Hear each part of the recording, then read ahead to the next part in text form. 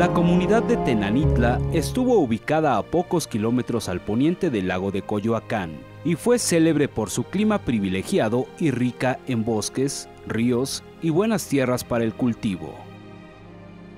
El 29 de junio de 1615, las máximas autoridades civiles y eclesiásticas de la Nueva España acompañaron a la Orden de los Carmelitas Descalzos durante la colocación de la primera piedra de la fundación del Colegio de San Ángelo Mártir, dedicado a uno de sus santos más entrañables.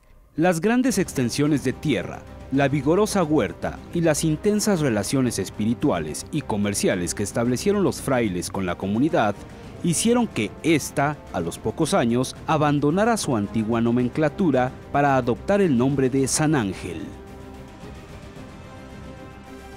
El colegio fue construido por Fray Andrés de San Miguel, ilustre arquitecto carmelita, quien también fue heredero de la estricta reforma que impulsaron en España Santa Teresa de Jesús y San Juan de la Cruz, para dar vida a los carmelitas descalzos, quienes pretendían emular la vida de castidad, contemplación y retiro de los monjes que habitaron el Monte Carmelo, en Palestina, siglos atrás.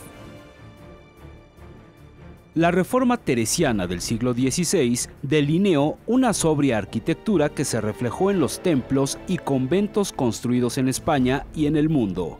Bajo los mismos cánones, Fray Andrés construyó la iglesia adjunta al colegio en 1624, que para ese entonces no contaba con las cúpulas actuales y las que fueron incorporadas al templo a finales del siglo XVII. En el colegio, los futuros confesores y predicadores de la orden recibieron la instrucción en teología escolástica y de moral. Tal instrucción fue solo para varones y no estaba despojada de elitismo, ya que durante sus primeros años el ingreso estaba ceñido a los españoles. El colegio tuvo su mejor momento en la primera mitad del siglo XVIII pues llegó a tener hasta 51 alumnos y una biblioteca con un acervo, según las crónicas, de más de 12.000 volúmenes. Además, una colosal huerta que le rendía abundantes beneficios económicos. Tras la reforma en 1858, el colegio fue clausurado y la custodia del recinto pasó a manos del ayuntamiento. Las tierras y el edificio fueron, en su mayoría, vendidos a particulares, la sección que conservó el municipio fue utilizada como cárcel, cuartel y otras funciones menores. En 1921, la Secretaría de Educación Pública utilizó parte del inmueble para resguardar las piezas artísticas, que aún se conservaban. Fue hasta 1929 cuando se formalizó la creación del Museo del Carmen, debido al protagonismo que adquirió San Ángel en la vida pública tras el asesinato de Obregón. En 1939, el recinto pasó a custodia del Instituto Nacional de Antropología e Historia y contó con una colección artística integrada por piezas originarias del colegio, que dan cuenta de la vida conventual carmelita, y por obras de diversas órdenes religiosas incorporadas en el siglo XX provenientes de Puebla, Guadalajara y el Distrito Federal.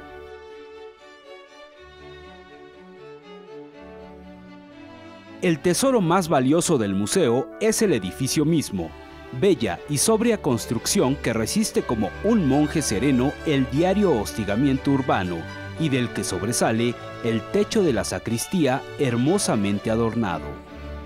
Resguarda una colección de arte religioso integrada por obras de grandes pintores novohispanos como Cristóbal de Villalpando, Miguel Cabrera y Juan Correa, así como de valiosos artistas anónimos. A las pinturas, esculturas y mobiliario originales del colegio se han sumado notables piezas de origen dominico, agustino y franciscano, que enriquecieron notablemente la colección.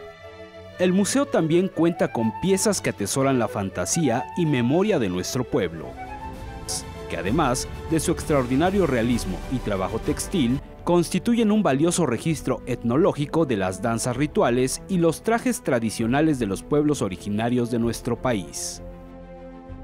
El recorrido se inicia con la historia de la Orden de los Carmelitas Descalzos desde su origen, en el siglo XII. El tema alusivo a la Virgen del Carmen aparece constantemente por los corredores y celdas del exconvento. En la parte baja se exhiben los cuerpos momificados encontrados en las excavaciones del lugar.